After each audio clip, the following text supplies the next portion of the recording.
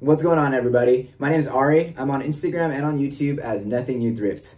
Today I want to share with you guys the photo setup that we used to sell just over $100,000 on eBay in the last 10 months.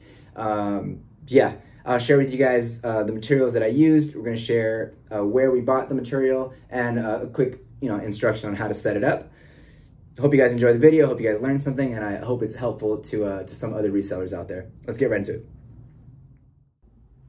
All right, so let's start with what I think is the most important component. It's definitely gonna be the lighting. Um, first off, try to be in like a well-lit room. Try to allow natural light into the room. That's gonna help you get like the nicest looking pictures.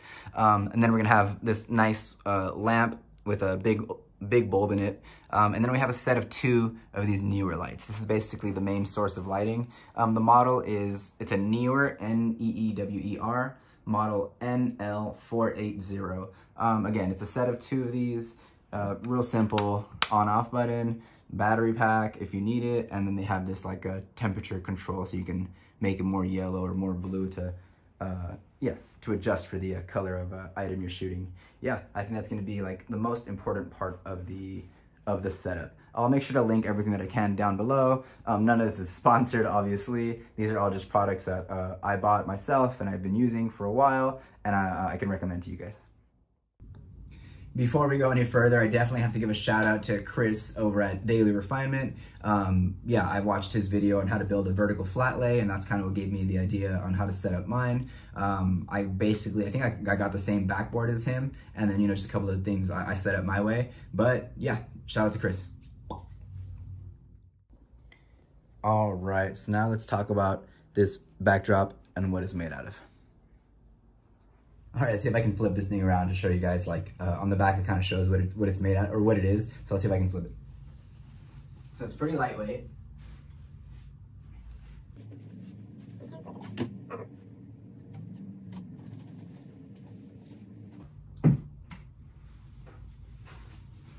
All right, there it is. All right, so this is what the back looks like. It's this R-Tech insole foam. Um, I believe it was $20 for the big piece. Uh, I think I cut off like two feet of length. And so it's uh, six feet long by four feet wide. It fits uh, mostly anything that I try to shoot on it. Um, the back, the way I pinned it and made it nice and tight, I got these little uh, nails going straight through the fabric. Oh, they're actually almost coming through, huh? But yeah, we got these nails in here, kind of all the way through, pulling the, uh, the backdrop fabric tight. The string is thrown over the top and then just taped to the back. I taped it as much as I could. As you guys can see that little tape job in there. Yeah, that's what holds my string for my hanger on the, uh, on the other side. This uh, white material that I have for my background, it's actually just like a fleece blanket from Target. It's literally like a queen size fleece blanket. Uh, I think it costs like 10 $15. Uh, same thing, I'll make sure I, will make sure to link it. Um, but yeah, nothing crazy, just a nice big old sheet blanket. The material does grip, um, does grip some of the items that we shoot on here. Like the shirts, it can grip it pretty well. Um, I do like the hanger though. We do like the hanger because we can give the items like a, a pull from the bottom to help us like straighten it out and tighten it, tighten it while we're setting it up. Um, yeah, so that's the hanger. And then it's just hooked on this string that's thrown over the back and taped on the, on the backside. Should replace this string with something white so it doesn't uh, show as much, but yeah. All right, so one of the last details might seem pretty minor. It's actually kind of a big deal. Um, you need to make sure that your setup is propped up a little bit um, just so you can kind of stick your feet under and get closer to your item. If not, this goes all the way down to the ground and you kind of got to like stand away and like lean forward while you shoot your picks. So yeah, if it's off the ground, you can kind of scoot in there real tight and then uh, get a real comfortable shot of, uh, of your item and then all of the details as well. All right, so now just a quick recap. Um, the lights, pack of two of these Neewer lights off of Amazon. Um, again, I will link that. Backboard is the installation foam board from Home Depot. Um, I will link that. The cover for the backdrop is just a blanket from Target. Uh, it's like a $10, $15 blanket. I'll go ahead and I'll, I'll show you guys that as well. Um, the bins I used to prop it up are from Target as well. And the hanger, probably from Target as well. um, yeah, I'll, I'll, try to link as much as I can. Uh, yeah.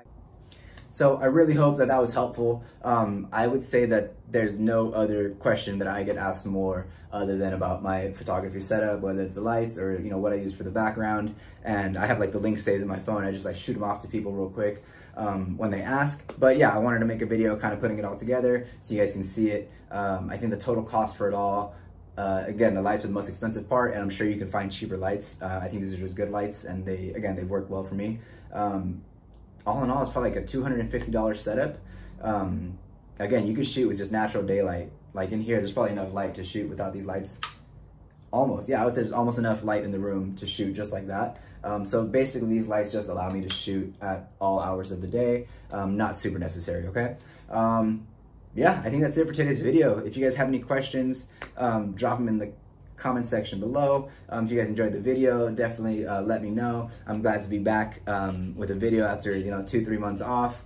Yeah, just had a lot going on. Uh, been getting our listings up every single day. Um, yeah, that's pretty much it. Uh, thank you guys for watching. Subscribe to the channel if you haven't yet. Check us out on Instagram and on YouTube at uh, Nothing New Thrifts. And we'll be back on the next one. We'll see you guys soon.